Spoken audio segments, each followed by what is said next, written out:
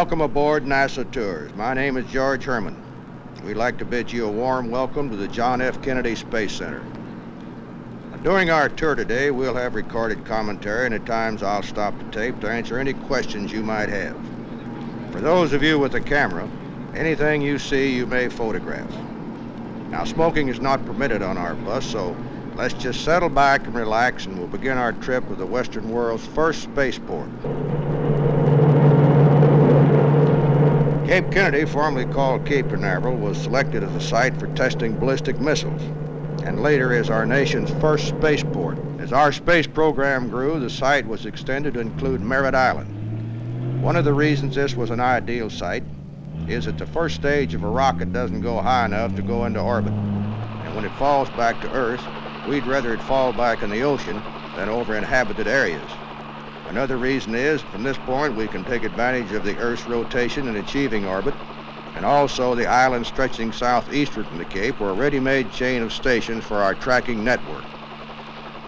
Here at Merritt Island, there are more than 88,000 acres of land, of which 3,000 acres are orange groves and 39,000 acres have been left as wildlife preserves. We have wild boar, armadillos, alligators, 13 bald eagles' nests, and more than 200 separate species of birds and even one reporting of a panther.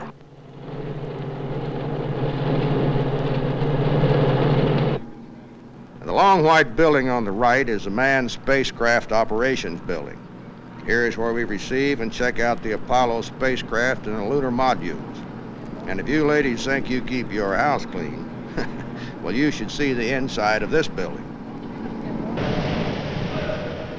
The walls, the ceiling, and even the floor is painted white and they never stop vacuum sweeping.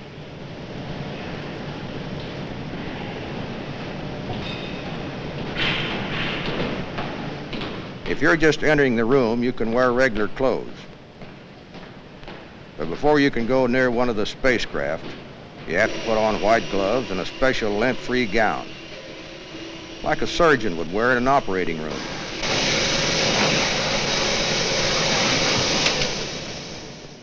They even wash the air that goes inside the spacecraft. 97.2 microns. Okay, good.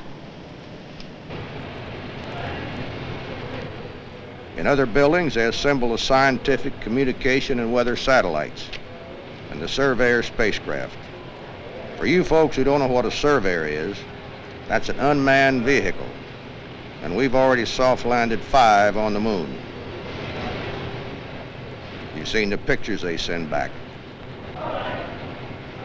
The last two even had claws which dug at the surface, scooped up the soil, and then sent a message back to Earth to tell what kind of soil it was. One reason for all of this is to make sure when our astronauts get to the moon, they got a pretty good idea of what to expect. While all of this is going on, the astronauts are practicing every detail of the flight. To help them do this, they have a trainer that is just like a real spacecraft, where they can simulate everything from the actual blastoff, complete with sound effects, to a docking in space. started, and uh, no, no P11. Okay. T-Mark, check that. Roger. Five, four, three, two, one. All right, lift off. Clock is started.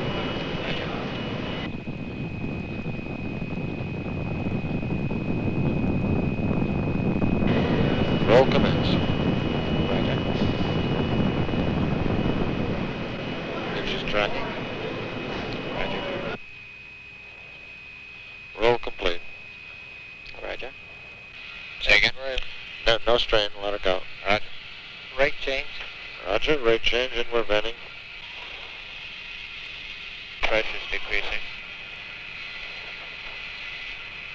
One minute. One B. Aux dump RCS command. Very good. Command module RCS propellants on. Very good. Roger, switching.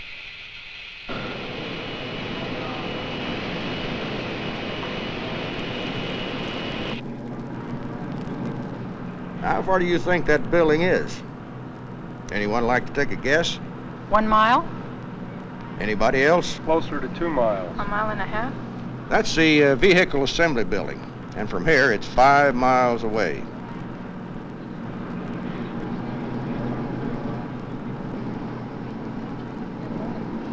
Now we're going inside and have a brief rundown on what takes place inside the building.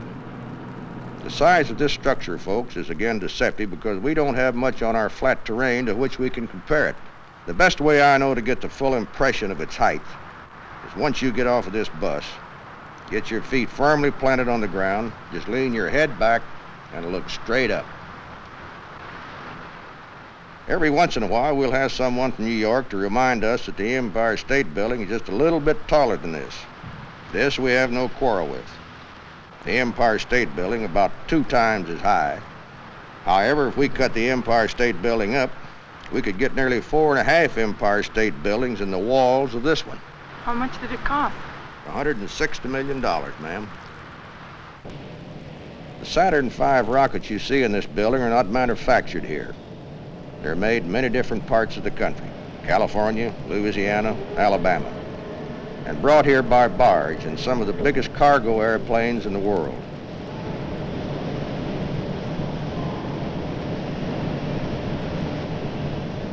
Now that you've seen the size of some of our rockets, you can understand why we must have a big building to put them together. Four rockets, each 36 stories tall, can be assembled here at one time. When this building was under construction, clouds actually formed under the roof and it rained inside. The giant fans have been installed that keep the air moving so this can't happen.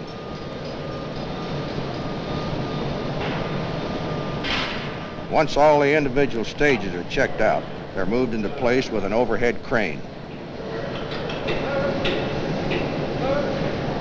The Apollo Saturn rocket consists of five sections, each stacked on top of the other. The main booster, the intermediate stages, and finally the payload that contains the spacecraft that will orbit the moon and the lunar module. It will take two men down to the surface and then bring them back again.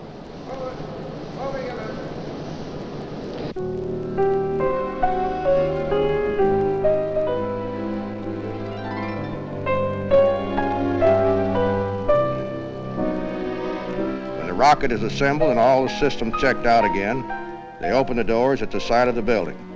The doors are made up of sliding panels, each panel weighing 30 tons, and it takes 45 minutes to get them open.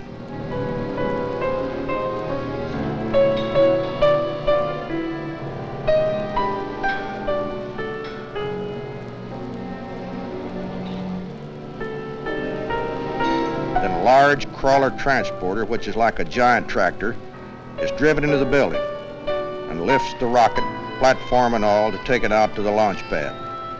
And they usually start early in the morning because it takes all day to get there.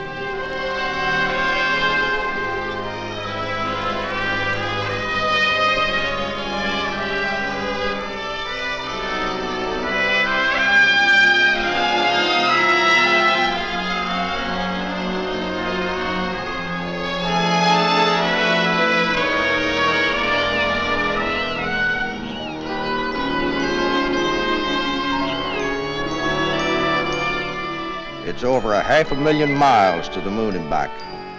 The first three miles of that trip is made right here on the road out to the launch pad.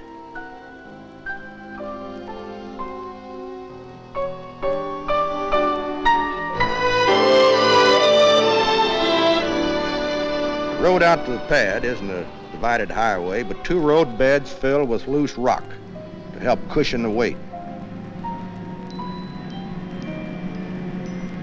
When the crawler transporter is carrying the Mobile platform with the Saturn rocket, there is a total of 18 million pounds moving along at a top speed of one mile an hour. When the crawler is empty, it can really scratch off. It can double its speed and go two miles an hour.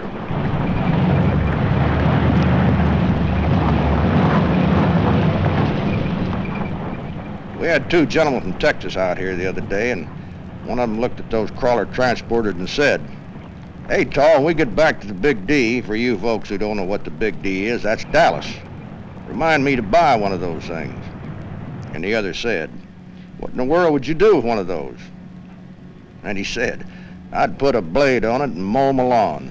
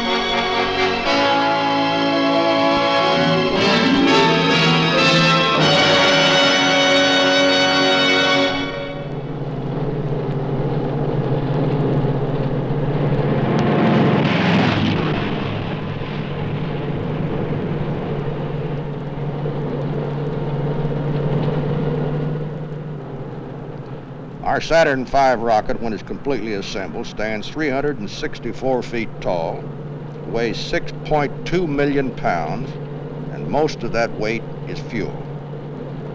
When this rocket leaves here, it will lift off with a thrust of more than seven and a half million pounds. This is about 180 million horsepower. That's more horsepower than a string of cars lined bumper to bumper from here to Seattle, Washington.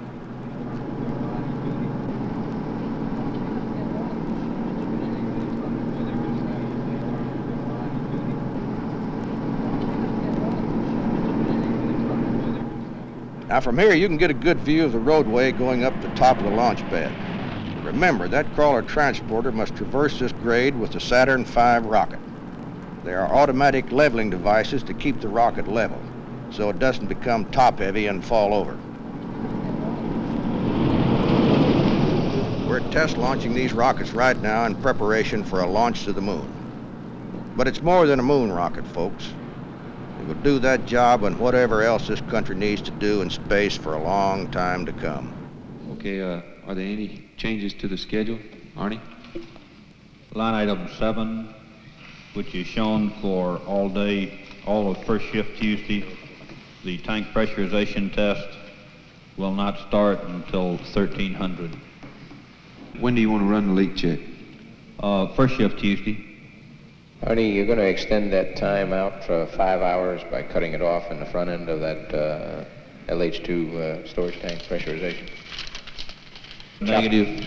The hazardous portion of that test should last only about four hours, Ted. Time check coming up on Okay. Apollo Saturn count. T minus eight hours.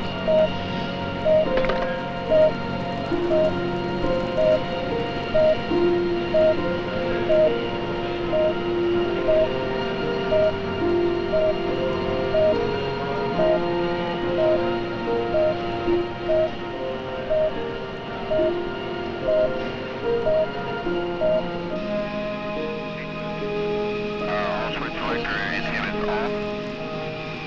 C1 verified. C2 verified. Off, C4. verified off. Uh, Uh, CUSW verify ESE, LVDA, and the ESE position. CUSW verified. CLGK request and execute FT43. As CLGK, uh, copy, will comply. CLTC CVTS on 121. TMS. Ground switch open. CLTC TMS here. Go ahead. Uh, someone here. ETMS. Ready TMS here. Uh, would you start tape recorders? Tape recorder started. Okay, all personnel terminate all demons and function executors. Go ahead, CVTS. Carry on. You verify you're ready to pick up the con at T-minus 630 in about 13 minutes? Uh, stand by, I'll get that information for you. All channel 121.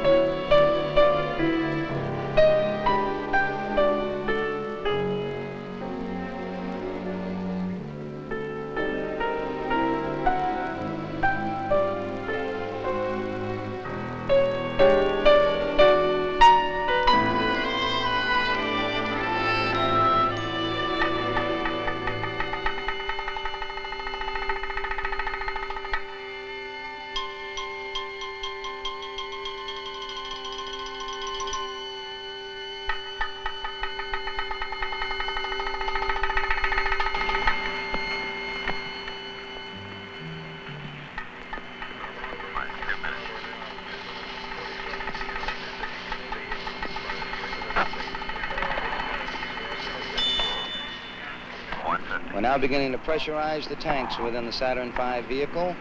We'll pressurize all of the uh, tanks in all three stages with gaseous helium.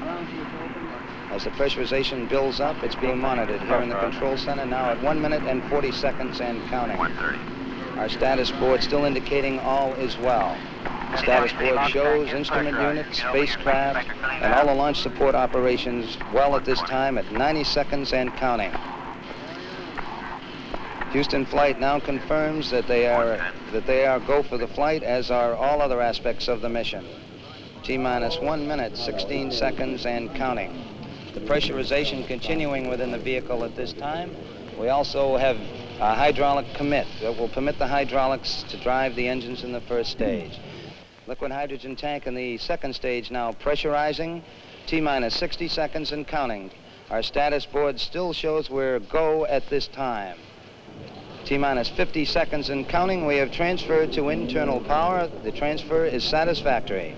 The 6.2 million pound Saturn V launch vehicle now on its own power at 38 seconds and counting. To repeat, the ignition sequence will start at 8.9 seconds. We'll be looking for liftoff at zero. T minus 30 seconds and counting. We'll count down from starting at T minus 20. T minus 25. Stage is reporting ready for launch. 19, 18, 17, 16, 15, 14, 14, 12, 11, 10, 9, ignition sequence start. 5, 4, we have ignition. All engines are running. We have liftoff. We have liftoff at 7 a.m.